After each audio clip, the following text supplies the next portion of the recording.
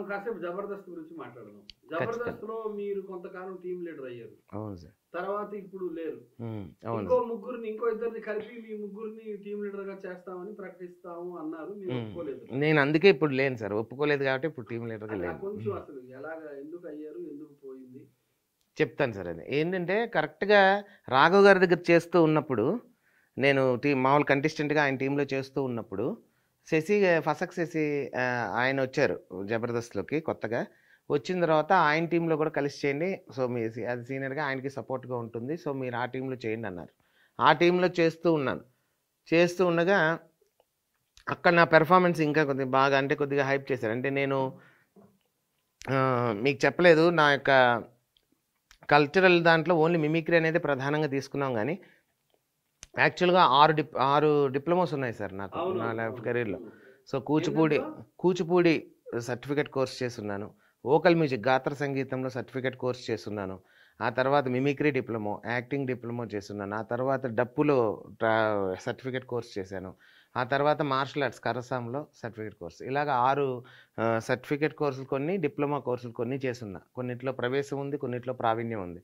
So ఇలాగా చేస్తున్నదాం కాబట్టి అవన్నీ ఇక్కడ అప్లై చేశా. శశి గ్రూప్లోకి వచ్చిన తర్వాత కూచిపూడి మీద ఒక స్కిట్టు సంగీతం మీద ఒక స్కిట్టు అంటే ఈ స్టోరీని అలా నేను బేస్ చేసుకొని నేనే రైటర్గా ఉంటూ అలాగా మళ్ళీ తర్వాత మా ఇంకో వేరే రైటర్ ఉన్నా కూడా నా ఇన్పుట్ ఆయనకి ఒక్కోసారి అన్నీ నేనే రాసే లేకపోయేవాడిని. ఎందుకంటే నేను ఈవెంట్స్లో బిజీగా ఉంటాను కాబట్టి ఇంకో రైటర్ కూడా ఉండేవాళ్ళు. ఆయనకి చెప్పి మళ్ళీ నా థాట్స్ ఇంప్లిమెంట్ చేసుకుంటూ. సో అలా చేసిన తర్వాత నా టాలెంట్ గుర్తించి మళ్ళీ మళ్ళీ వాళ్ళు పిలిచి శశి గారితో పాటు కంబైన్డ్గా మీరు కూడా టీం లీడర్ చేయండి ఈక్వల్గా అన్నారు. అంటే ఆయన జబర్దస్త్ జబర్దస్త్లో ఒక టీంలో కంటెస్టెంట్గా చేస్తూ అదే టీం లీడర్తో కలిపి టీం లీడర్ అయ్యింది ఫస్ట్ టైం నేనే అనుకుంటున్నా. సో అది రెండు నెలలు అంటే లాక్డౌన్కి ఒక ఐదారు నెలల ముందు అయ్యాను జస్ట్ అంతే సార్. లాక్డౌన్ మొన్న అవ్వడానికి ముందు. సరే ఎర్లీగా ఎల్ అంటే ఫ- తక్కువ అతి తక్కువ కాలంలో టీం లీడర్ అయింది. శశి టీంలోకి వచ్చినాక తక్కువ కాలంలో టీం లీడర్ అయ్యా నేను. అయిన తర్వాత మా ప్రయాణం కొనసాగుతూ ఉంది. అలా ఒక ఆరు నెలలు గడిచింది. గడిచిన తర్వాత ఇంకో టీంని కూడా చేశారు. జీవన్ వాళ్ళది ఒక టీం చేశారు.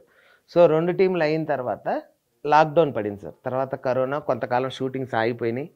సో మళ్ళీ కొత్తగా మన జబర్దస్త్ని చూపించాలనుకుంటే ఒక కొద్దిగా మనకి కొత్త టీం లీడర్స్గా లేకపోతే సినీ గ్లామర్ కొద్దిగా యాడ్ అయితే ఇంకొద్ది బాగుంటుంది అన్నట్టుగా తాగుబోతు రమేష్ గారు శకలక్ శంకర్ గారు వాళ్ళు కూడా మళ్ళీ చేస్తాం అనేటప్పటికీ వాళ్ళ టీంని కూడా వాళ్ళని రెండు టీంలుగా చేయాలని చెప్పి సంస్థ నిర్ణయం తీసుకున్నారు.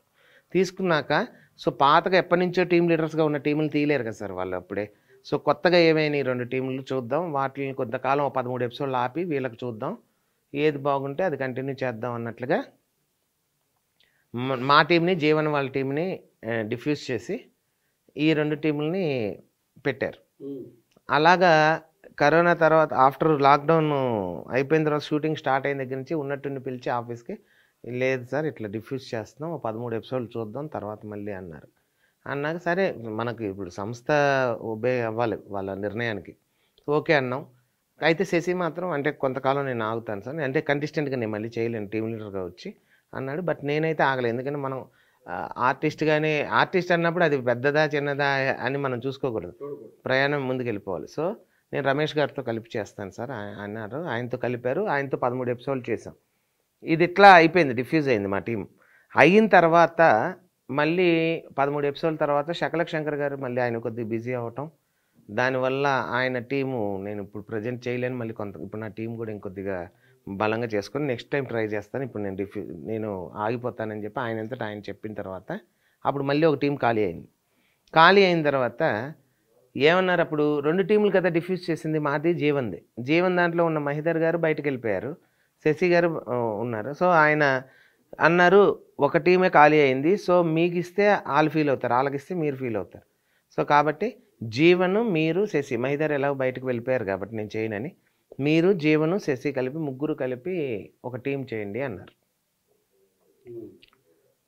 అన్నాక అప్పుడు నేను నాకు ఏమనిపించిందంటే మళ్ళీ ఇప్పుడు ఒక టీము ముగ్గురులో కలిపి చేయటం అనేది ఓకే. బట్ అయితే నాకు శశి గారికి సంబంధించి కొన్ని ఆర్థిక లావాదేవీలు కొన్ని ఉన్నాయి. అంతకుముందు మేము టీం లీడర్స్గా ఉన్నప్పుడు కొన్ని. సో అవి సెటిల్ అయితే కానీ నేను ఆయనతో కలిసి చేయను. ఎందుకంటే ఆ మధ్యలో ఆయన మా ఇద్దరి మధ్య కొన్ని వాగ్వివాదాలు ఫోను నేను ఇచ్చేయలేదు మళ్ళీ నాకు తెలియదు ఆఫీసులో తీసుకోండి ఇట్లాంటి కొన్ని చెప్పారు ఆయన. కొన్ని కొద్దిగా నాకు ఎందుకు తేడాగా అనిపించింది అనిపించిన తర్వాత మళ్ళీ కలిసి నేను ఆయనతో చేయటం అనేది నా వివేకం అవుతుంది. అది ఎక్కువ తీసి తక్కువ కాదు సార్. వాళ్ళకి ఎంత ఇస్తారో దాంట్లో వీళ్ళు ఎంత ఇవ్వగలరో అంత ఇస్తారు అంతే ఆర్టిస్టులకి. ఇప్పుడు ఒక పెద్ద అమౌంట్ వచ్చినప్పుడు అందరికీ మంచి పేమెంట్లే ఉంటాయి టీంలో ఆటోమేటిక్గా. సో వాళ్ళకి ఒక మినిమం వస్తున్నప్పుడు దాంట్లో ఆ రైటర్కి పోయి వాళ్ళకు ఉండే వంద ఉంటాయి. ప్రాక్టీస్లో భోజనాలు ఇవన్నీ చూసుకోవాలి మళ్ళీ రైటర్ని మెయింటైన్ చేయాలి. ఆ తర్వాత అతను కొంత చూసుకోవాలి. తర్వాత మిగిలిన టీంలో ఆరు మంది ఉంటారు ఐదు మంది ఉంటారు. మళ్ళీ అందరికీ పేమెంట్లు ఇవ్వాలి టీం లీడర్ అని అతను. సో ఆయనకుంటే స్ట్రెస్ ఆయనకుంటుంది ఆయనకుంటే ఇది ఆయనకుంటుంది. సో అది ఎక్కువ తక్కువ అనేది పక్కన పెడితే అసలు మేమిద్దరం టీం లీడర్స్ అయిన తర్వాత మాకు ఈ ఆర్థిక లావాదేవీల దగ్గర కొద్ది తేడా వచ్చింది శశికి నాకు. ఆయన మధ్య మళ్ళీ మిగిలిన వ్యక్తిగతంగా మా ఇద్దరి మధ్య ఏం లేదు. చాలా క్లోజ్గా ఉండేవాళ్ళం. అన్నయ్య అన్నయ్య మీద అన్నగారితో సమానం ఉండేవాడు నేను అంత క్లోజ్గా కలిసిమెలిసి వెళ్ళేవాళ్ళం. ఇవి లోపల ఉండేవి ఉంటాయి కదా సార్ కొన్ని ఆర్థిక లాభాలు. దీనివల్ల నేను మధ్యలో మా మధ్య జరిగిన తేడా సంభాషణ వల్ల అంటే అంటే మీ మీరు తర్వాత చూసుకుని ఇప్పుడు నా దగ్గర లేవు. మీరేం చేస్తారు చేయండి అన్నట్టుగా మాట్లాడారు. మాట్లాడిన తర్వాత నేను ఇప్పుడు మళ్ళీ టీం లీడర్గా చేయండి ముగ్గురు అన్నారు కదా. నేను తెలిసి తెలిసి ఆయనతో కలిసి ఎలా చేస్తానండి? ఎందుకంటే ఆల్రెడీ నేను అనుభవించి ఉన్నాను కాబట్టి. ఆరు నెలల నుంచి మేము మాకు రావాల్సిన డబ్బులు చాలా ఆగినాయి ఆయన దగ్గర. సో దానివల్ల నేను ఆయన నాకు సెటిల్ చేస్తే అమౌంట్ నేను కలిసి చేస్తాను లేకపోతే వాళ్ళిద్దరు నేనేమన్నాను నేనే తప్పుకుంటా పక్కకి. నాకు రమేష్ గారి దగ్గర చాలా బాగుంది. నాకు హాయిగా ఉంది. ఆయన బాగా చూసుకుంటున్నారు. కరెక్ట్గా ఉంటుంది పేమెంట్ విషయంలో కూడా. సో నాకు రమేష్ గారితో కంఫర్ట్గా ఉంది సార్. వాళ్ళిద్దరినే కలిపి చేయండి అన్న. ఆ తర్వాత మళ్ళీ శశి గారు ఎందుకు ఏ కారణాల వల్ల ఆగిపోయారో మళ్ళీ ఆయన ఆగిపోయారు. ఇప్పుడు జీవన ఒకటే చేసుకుంటున్నారు టీం లీడర్గా. సో నెక్ ఒక ఒక అంత వా- ఇష్టం లేకుండా ఇప్పుడు అప్పుడు న్యాయం చేయలేము సార్. స్కిట్కి న్యాయం చేయలేము సంస్థ పెట్టుకున్న నమ్మకానికి న్యాయం చేయలేము మనం. ఇవి మా ఇద్దరి మధ్య మా ముగ్గురు మధ్య ఇదిగా ఉంటే మనం ఎట్లా కలిసి చేయగలుగుతాం దగ్గర పని? సో కాబట్టి అది మంచిది కాదు ఎవరికీ మంచిది కాదు. సో నేనే తప్పుకున్నా పక్కకి.